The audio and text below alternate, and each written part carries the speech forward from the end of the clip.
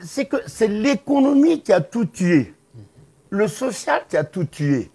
C'est évident, quand des gens se révoltent, ils se disent djihadistes, ils tuent. Bon, franchement, c'est pas beau. Mais c'est parce que tous ces gens sont devenus aveugles. Ils sont malades. Mais ils voient des gens, quelques personnes au Burkina Faso, qui sont à l'aise. Ah oui, euh, qui s'amusent même avec l'argent. Quand des fils de prétendus grands s'en vont acheter des bouteilles de vin à un million, ah, vous comprenez ce que cela veut dire?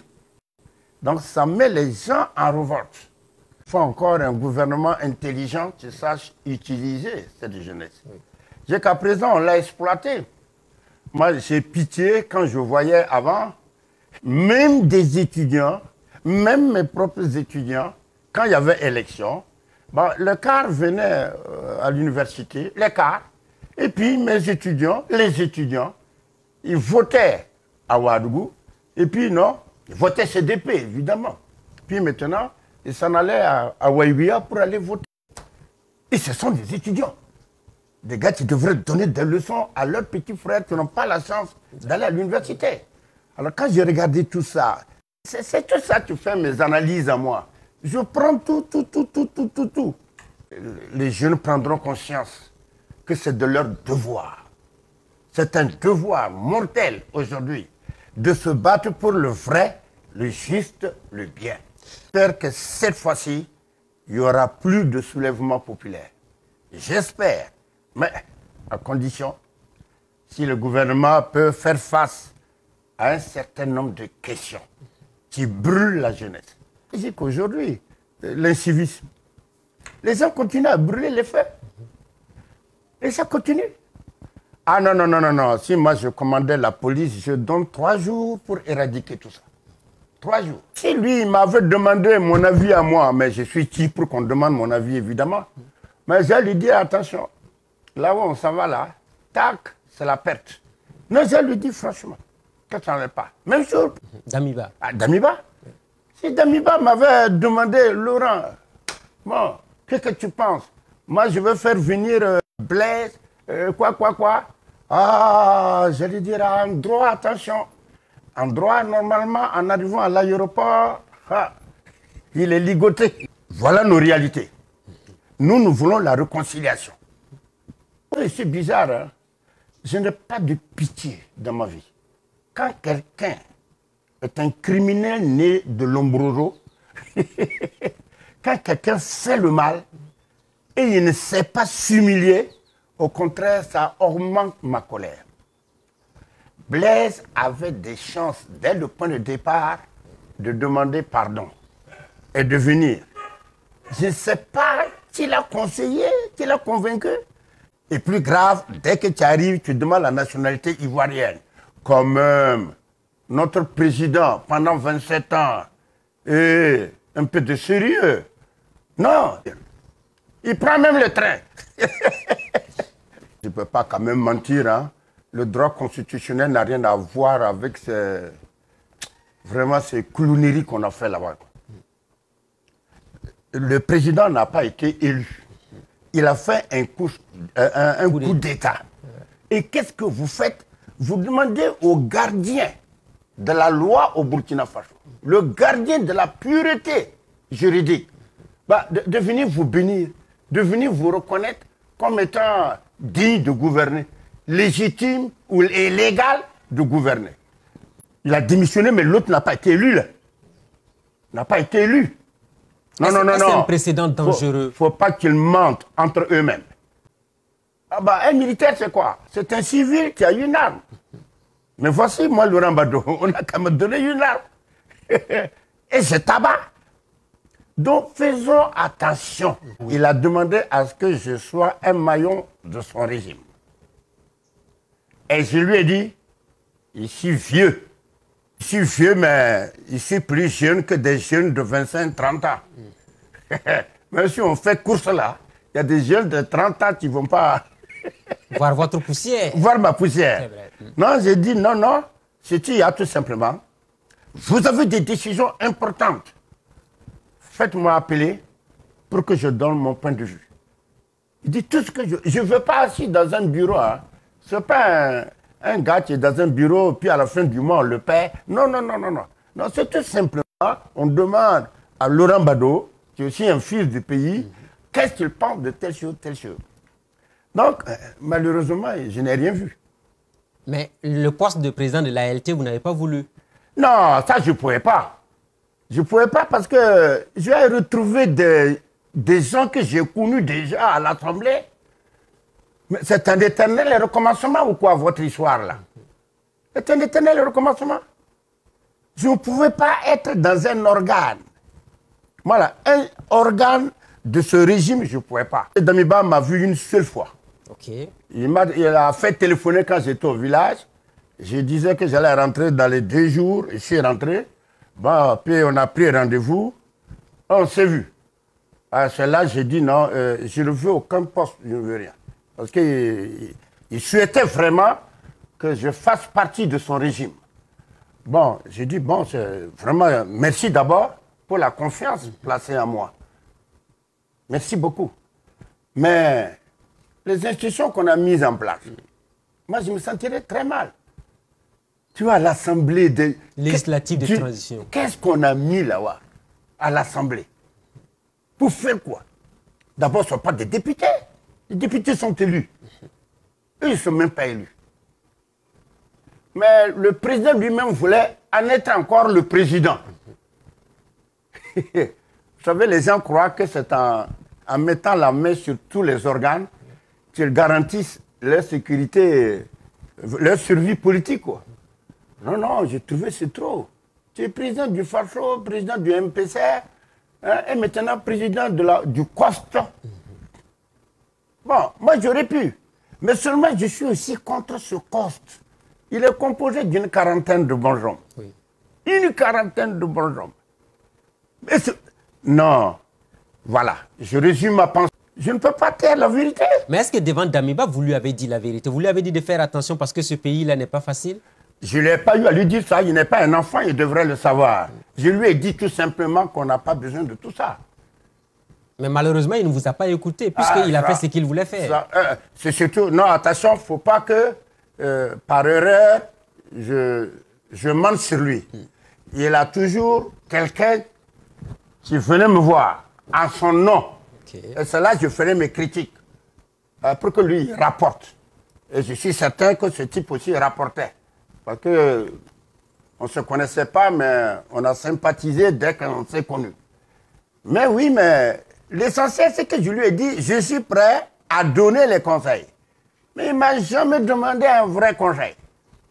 C'est surtout au niveau du coste qu'il a demandé euh, conseil. quand je dis tout ça, c'est inutile. Le gars se gonfle comme un dindon de Gondi. Monsieur le Président, monsieur, mais nous c'est quoi? Nous c'est frères. Même les Arabes quand même nous dévancent. C'est les Arabes, c'est frères. C'est mon frère. Nous, on ne peut pas dire mon frère, mon frère, mon frère. Parce qu'en ce moment, les barrières tombent. Si on dit, moi, frère président, euh, le gars ne se sent plus gonflé comme un dindon de douleur. Oui. ou non? Et vous pouvez parler franchement. C'est l'humilité qui a toujours manqué aux dirigeants du Burkina Faso. Ce sont des gars qui n'avaient pas d'idée et surtout, ils n'étaient pas humbles. Ah, avec ça, si tu as juste cet autre défaut de favoriser les copains, oui. c'est toujours ça histoire de copinage. Ah, lui là, je le connais. Lui, c'est un parent. lui, est un copain. Ça, ça ne marche pas. Pour beaucoup d'observateurs, il a nommé ses copains, ses camarades, ses amis à des postes de responsabilité. Est-ce que vous pensez que ça a dû précipiter aussi les événements pour mais, mais bien sûr, parce que les... ils ont dit on vient lutter contre les djihadistes. Oui, c'est ça. Les djihadistes pénètrent chaque jour davantage. On ne voit pas les résultats. Quand on dit conseil de ministres, c'est conseil de nominations. Rien que les nominations. C'est ça le problème. Alors qu'ils ont parlé de dépolitiser l'administration. Voilà. Et plus grave, plus grave, ce sont des lieutenants-colonels, des quoi quoi, des soldats quoi. tu nommes même à la tête des entreprises d'État. Qu'est-ce qu'un militaire connaît dans la gestion économique et financière? C'est son rôle. Au moment où on veut que tous les militaires au front pour délivrer leur peuple. Ce que j'ai dit là, c'est la perception des jeunes que je vous traduis. C'est comme ça qu'ils disent ça. Pour les jeunes, regarde-moi ça. Oh, on vient, on vient se récompenser entre copains. On vient gérer des entreprises juteuses. Bon, on va voir. Voilà, je pense. Euh, c'était une erreur. En tout cas, les jeunes qui sont sortis, pour la plupart, ne voulaient pas qu'il reste au pouvoir. Ah, ouais, en huit mois, il a vendangé toute la sympathie qu'il voilà. avait pour lui. Non, non, ça c'est vrai. Ça c'est vrai. Mais il a l'humilité aussi de reconnaître justement ses fautes. Il a l'humilité. Moi, je regrette déjà qu'il soit reparti, qu'il soit parti en Côte d'Ivoire aussi. Non? Il aurait dû rester au Burkina. Oui, il aurait dû rester au Burkina. Hein? Puis moi, si c'était moi le rabado, euh, parfois vous me voyez dans tel bar, avec les gens, je discute. Moi, c'est en, en échangeant avec les gens qu'on trouve la vérité qu'on trouve le, vrai chemin. Donc l'exil pour Damiba n'aurait pas dû être la solution Non, c'est pas comme lui. Il est jeune, mon Dieu. Que l'exil, pour faire quoi? Qu'en politique, tu ne dois pas être là avec une question d'amis. On s'en fout des amitiés ici. C'est le peuple. Si ton ami vole, il est en prison. Va lui rendre visite. Mais tu dis, tu m'as eu. Tu ne devrais pas voler si tu m'aimais. Mais si les voleurs bombent le torse, les voleurs sont à l'aise. Mais oui, mais ça va appeler tout le monde à vouloir voler. Donc, c'est choisir les hommes qu'il faut à la place qu'il faut. Et quand quelqu'un est incapable, immédiatement on l'enlève. Et surtout si quelqu'un détourne un rond de l'État, hop, hop, hop, hop, hop. La sanction suprême pour la personne Vous savez, on a supprimé la peine de mort ici. C'était pour demander à la France de nous libérer, de nous envoyer François. Mhm. si moi j'étais président du Facho, j'allais restituer, remettre en place la peine de mort. Mais je n'ai pas dit que la peine de mort, cela veut dire que dès que tu tues quelqu'un, hein, on te tue. Je n'ai jamais dit ça. Prends un père de famille. Il a eu une grosse, euh, quoi là, ordonnance de, de 25 000, 15 000. Et ça va, c'est le voisin à côté. Le voisin ne peut pas lui donner les 25 000 et 35 000. Le voisin va lui donner peut-être 500 francs, 1000 francs. Il va laisser l'enfant mourir. Il, a le devoir de voler le riche, le plus riche, pour sauver son enfant. Cet homme-là, moi-même, il ne fera même pas la prison. On va le réprimander pour dire quand même hein, que tu es parti à l'action sociale et puis on a dit, il n'y rien. Voilà, ne recommence plus. Ah, si tu recommences la prochaine fois, là alors tu seras exécuté. Mais ça c'est différent de ceux qui volent la République. Ah oui, Totalement. oui. Oui, oui, oui. Ah, non, non, non. Avec la République, il n'y a pas de rémission, il n'y a pas de pitié. Euh, des gars, tu, tu, voles des millions, hein, l'argent de l'État, ah non, non, eux là, non, je n'ai pas de pitié. Pas de pitié. Laurent Badou, je veux vous entendre. Quand la CEDEAO devait venir rencontrer le capitaine Ibrahim Traoré, les jeunes ont dit qu'ils ne voulaient plus de la CEDEAO. Pourquoi aujourd'hui la CEDEAO est autant rejetée par la jeunesse selon vous? C'est pas. Ah bon, tu crois que c'est la jeunesse? Moi, je rejette la CEDEAO. Ça n'a qu'à disparaître. Ça là, c'est pour nourrir des individus Hein, des petits copains, ils ont 9, 12 millions par mois. Croyez qu'on ne connaît pas la vie qu'ils mènent? Quand même. Nous, au Burkina Faso, nous souffrons. Oui ou non?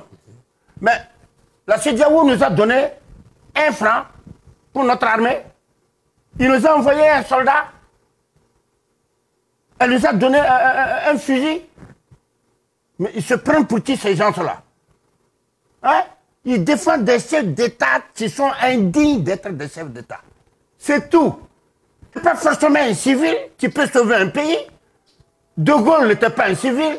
Napoléon n'était pas un civil. Je peux passer le temps à citer de grands pays qui sont sortis de l'ombre par des militaires.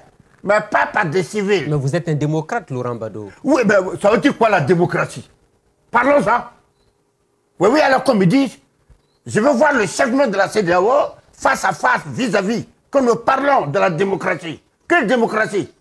La démocratie, quand dans les élections, le, parti au pouvoir triche, vole, fait quoi? La CDAO dit quoi?